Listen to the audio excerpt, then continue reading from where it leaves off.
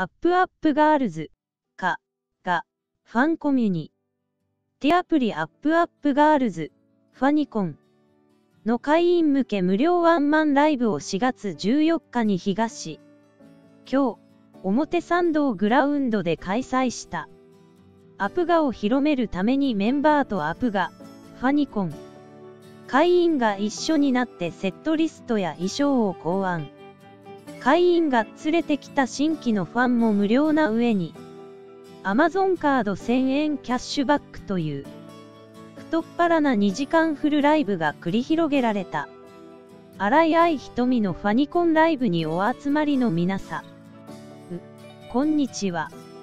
今日は楽しんでいきましょう。の声とともに、いきなりキラーチューンのアッパーカップと、からスタート。ライブの後半に披露されることが多い代表曲だが、新規のファンも盛り上がれるように1曲目に持ち、できたという。関根あずさはそんなライブの趣旨を語った後、衣装もリクエストをいただいて、2016年のものを引っ張り出して久しぶりに来て、おりますと、日本武道館のワンマンライブで、期待賞であることを告げる。続いて、デビュー。曲 Going My Way。タオルを回して盛り上がるアップアップ隊。不運。軽快なスカのビートのフォーエバー。ヤングなどをノンストップで披露。さらに、ダンスをレクチャーしてからのパーリー P。ポエーリアン。ハードなサウンドに乗せた。アッパーロック。近年のアプガの必殺曲と、燃えるアイアイファイヤー。あと、畳みかけていく。後半戦はチョッパーチ、ヨッパージャンパー、アッパーレー、など、盛り上がり必至のナンバーを連発。とど、目に最新シングルのアゲノミクス。あ、お披露すると、会場はバカ騒ぎ状態に。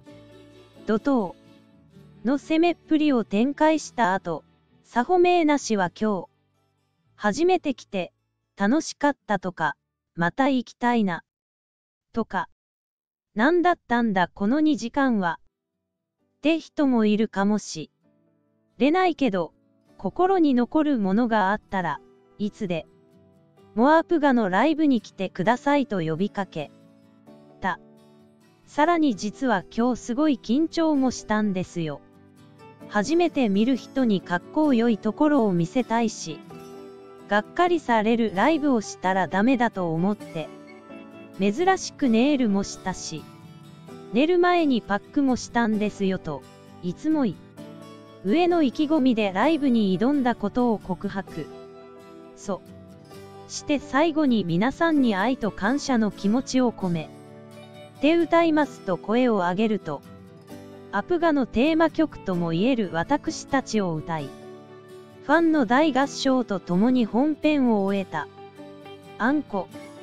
ルに依らえて登場した古川小夏が第2弾もまた、ライブしたくないですかやってもいいかな？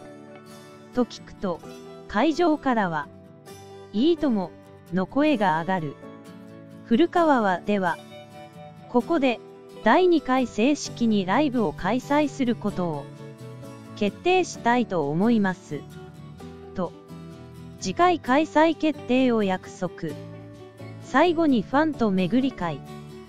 多奇跡を歌ったサイリウムでライブを締め、めくくった。